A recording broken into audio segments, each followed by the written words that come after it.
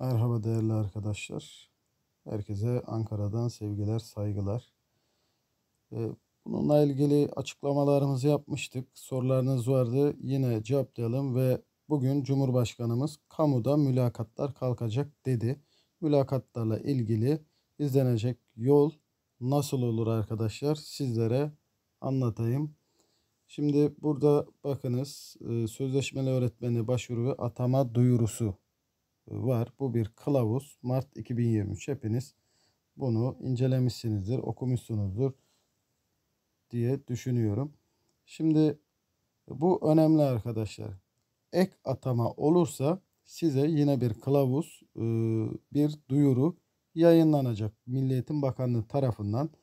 Bu duyurunun 8. sayfasını açtığımızda arkadaşlar burada sözlü sınav adı altında.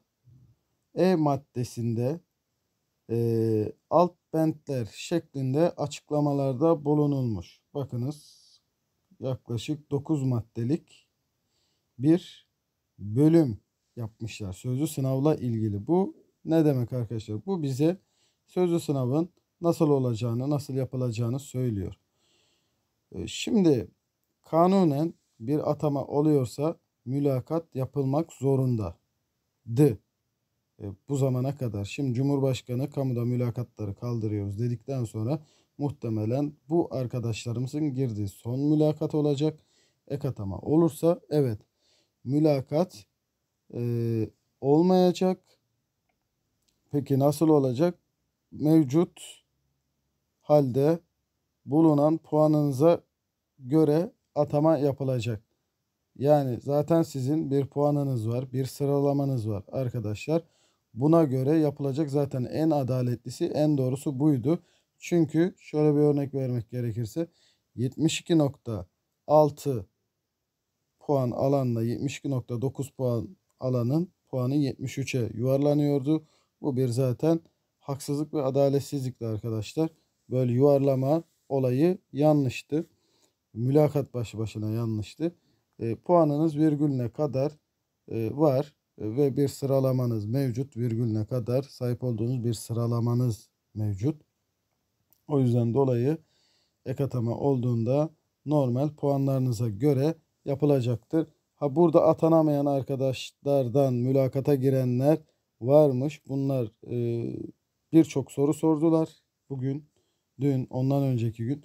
Şimdi bir daha ek atama olursa bu mülakatla puanları geçerli olacak. Girmeyen arkadaşlar e, büyük bir e, handikapta şu anda demişler. Hayır arkadaşlar mülakat devam etseydi de zaten ek atama olduğundan bir atama daha e, bir mülakat daha yapılacaktı.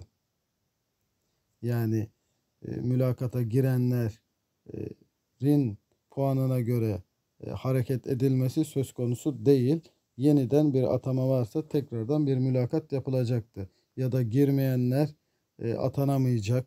İşte puanı yüksek olsa bile mülakat puanı olmadığı için öyle bir şey yok. Her atama döneminde zaten kanunen bu bu şekildeydi. Ama şu anda mülakat kalktığı için puanlara göre atama olacak. Ek atama olacak. Şu anda bu son e, mülakatlı bir atama olacak arkadaşlar. Onu da e, söylemiş olalım. E, yine sorularınız varsa e, yazabilirsiniz. E, bakınız burada zaten şunu da belirteyim. E, ne diyor? KPSS P10, P121, P120 sonucunda her alan için en yüksek puan alanından başlamak üzere alanlar bakımından belirlenen kontenjan sayısının 3 katı aday. Son sıradaki adayla aynı puana sahip olan adaylar dahil yerleştirildikleri sınav merkezinde sözlü sınava alınacaktır.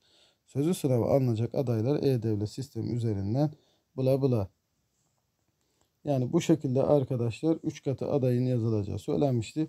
Muhtemelen bir dahaki kılavuzda sözlü sınav kısmı olmayacaktır. Ee, burası e, kılavuzdaki bu kısım düzenlenecektir yeniden arkadaşlar. Kaldırılacaktır muhtemelen. Dediğim gibi sorusu olan varsa yine sorabilir. Ee, umarım herkesin hakkında hayırlısı olur.